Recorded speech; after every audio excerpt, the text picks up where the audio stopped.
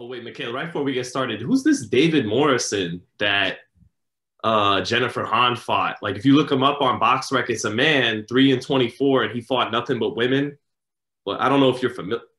Yeah, it's something you got to look into. But oh my god, I gotta show Coach out too. Yeah, I'm surprised we didn't come across that. Yeah, yeah. I'll, I'll. Anyways, but um, okay. I'll stop, stop wasting your time.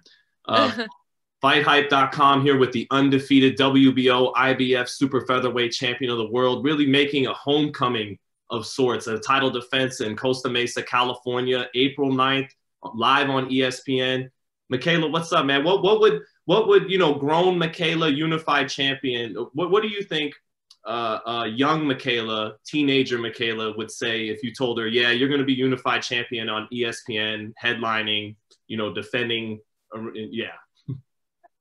I would have believed it because I, I always believed it. Now, I didn't necessarily envision it exactly the way it is because I couldn't possibly. I mean, there was there was no promoters weren't signing women you know it's i didn't envision it i didn't even know necessarily i was going to turn pro you know i thought maybe i'd do multiple olympics but things just sort of unfolded as i started training because I knew, I didn't know how, but I knew somehow I was going to create a market for women's boxing. I knew somehow I was going to have a career in this and I was going to be with the best female fighter in the world. And I said that from like the get go, from like the very beginning, the first month or two I was in the gym, I, I said those things. And I don't know where I came up with that because at the time we weren't allowed to compete in the Olympics. Promoters weren't signing us, but I just knew I had a passion. I knew I had a drive and I've just always been that type of person. I just make things happen. So um, I'm grateful for where I am. I couldn't ask to be in a better situation right now. I feel like my career has gone perfectly. I've had some great fights.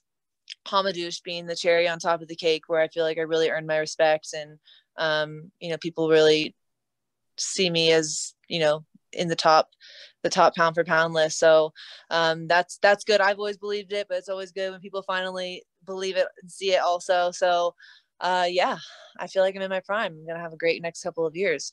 So so so young Mikaela wouldn't have been that surprised. Basically, it just it sounds like you knew you were a star uh, deep down. I just I said this in my last interview, but I was like I was I was very uh experienced for my age. And I was like 13, I was on tour playing in a band around the US like I've just feel like I've lived a lot of lives and I've always been very 100% all in with everything I've ever done. And when I'm done, I'm done. But when I'm when I'm in it, like I'm an extremist, and so I don't I don't half-ass anything. And when I found boxing, like I knew that was that was what I wanted to do. That was my passion. That's what I had found. That's the most important thing in the world is finding something you're passionate about. I tell that to everybody, and so I found that in boxing, and um, passion drove me. Passion got me here. Just self belief and, and the love for the love of the sport. Now, watching Jennifer Han, um, who never lost in her five title fights at featherweight, didn't lose a fight between 2014 and up until last year against Katie Taylor. She looks more more technical than Maïva Hamadouche looked, but is part of even though even if she is technically superior, is part of you gonna be relieved when you get in there and she's just not bum rushing you nonstop for two minutes of every round? Um no, I mean you would think that, right? Because I think that a lot of people would have crumbled with someone with that type of pressure. And I think that you always think going into a fight with someone like Hamadouche or style like that is the first thing is like I don't want to gas out. Like you don't want to gas out because you know the pressure is going to be on you constantly. Um, but I trained for that. I trained to have my foot on the gas the entire 10 rounds up in altitude with Crawford's team um, and worked really hard for that. And so even though this fight going in with Han, it's it's not about that. It's not going to be about whose engine is is stronger. Um, it's not that type of fight. It's more a chance for me to show my boxing IQ um, because Jennifer Han's not that typical of a boxer either. She does a lot of sort of unorthodox things, her movement, and so she can be tricky. Katie Taylor said it herself. She's very defensive and it's tricky to hit. So um, she's just this is this is what we do. We break down our opponents. We always have a strategy. We always have a game plan. Every fight is different, and uh, but I think that's one of my strengths. I'm very versatile, and I can I my style will usually beat different styles. Like I can beat many different styles. So this is a chance for me to show my boxing IQ. Hamadouche fight, I got to show my grit, my heart, my my body work, my inside game, and now I'm going to go back to boxing and show people that um, I'm a smart boxer. Yeah, because the last couple fights, these girls are just coming right at you, trying to crowd you. We know you're tall, and so and, and so what you've done is kind of beat them at their own game.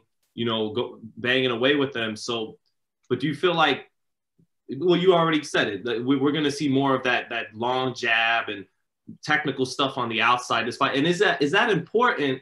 You know, to to to have all those areas for uh, Katie Taylor, Amanda, Amanda Serrano winner down the line, or Alycia Baumgardner.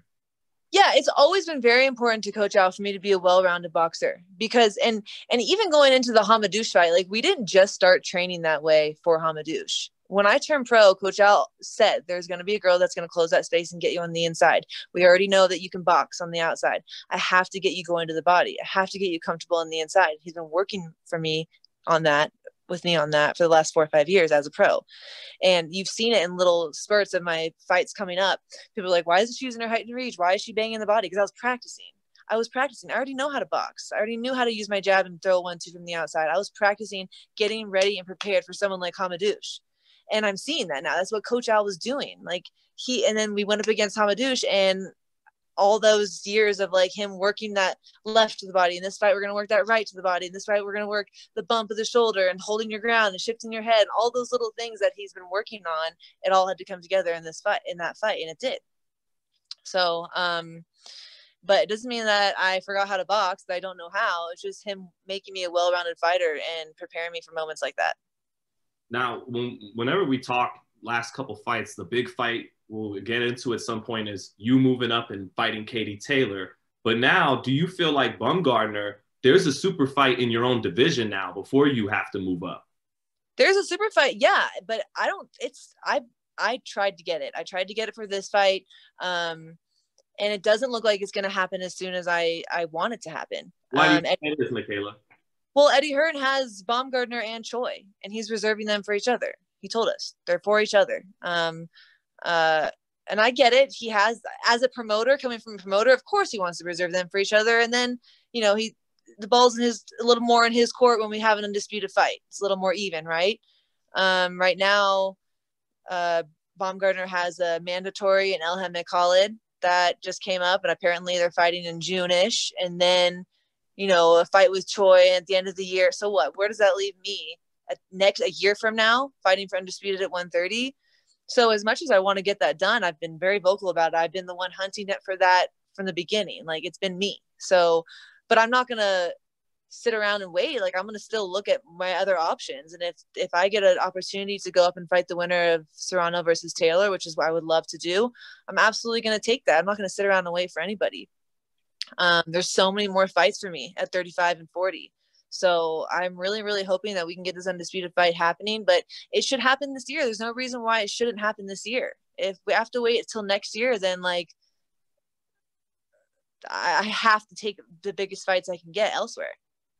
I, I would love this. It just makes too much sense for you two to square off, and then the winners of Taylor Serrano and Mayer Baumgardner, you know, that that would just be too beautiful. yeah, well, we got fights happening. Choi's impossible to freaking get a fight with. She's impossible to work with. She's horrible. I hate her. She's horrible for this sport. Her team sucks.